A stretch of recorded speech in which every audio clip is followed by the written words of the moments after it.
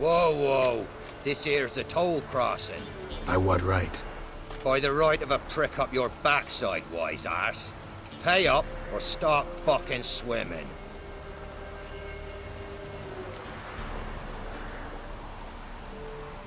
I'll cross, but I'm not gonna pay you a broken copper. Broken's what your jaw'll be once our clubs are done with it. Bottomere, have it the thrifty fucker. Oh!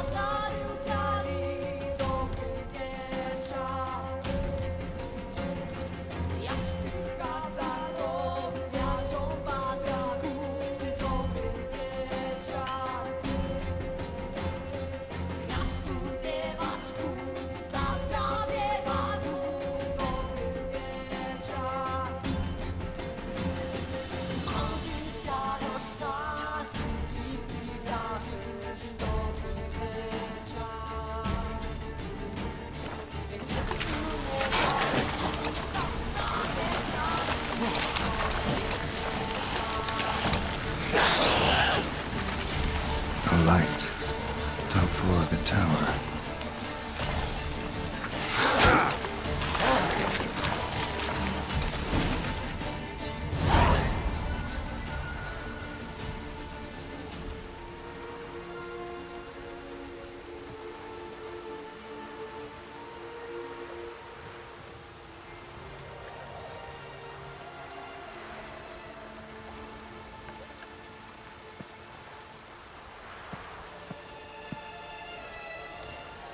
So, found what you were looking for?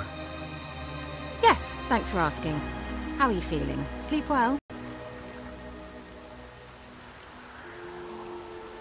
You used me. Oh, please. I merely seized an opportunity. If I'd known you just wanted Alexander's notes, I'd never have helped you lift the curse from Fyke Isle. All right. Perhaps I wasn't completely honest. Didn't quite toe the line. But I knew you'd manage. You're so manly and all. Geralty poo. Wipe that frown off your face, or I might think you don't like me anymore.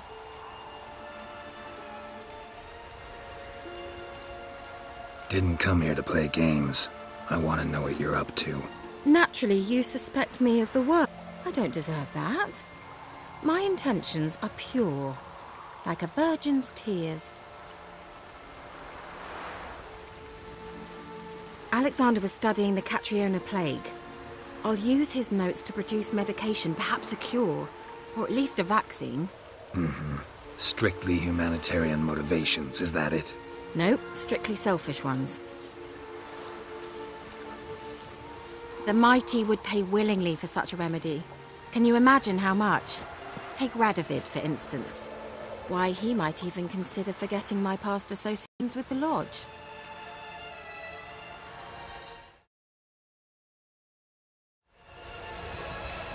You're either incredibly gullible, or you're trying to play me again. Whatever do you mean? Radovid has one objective. To defeat Emhyr.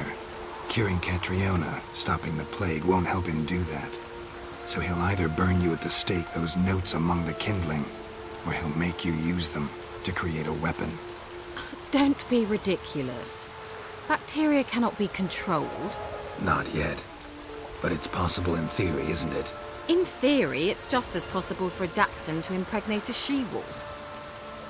I don't have time to debate this, Geralt. I'm going to see Radovid whether you like it or not.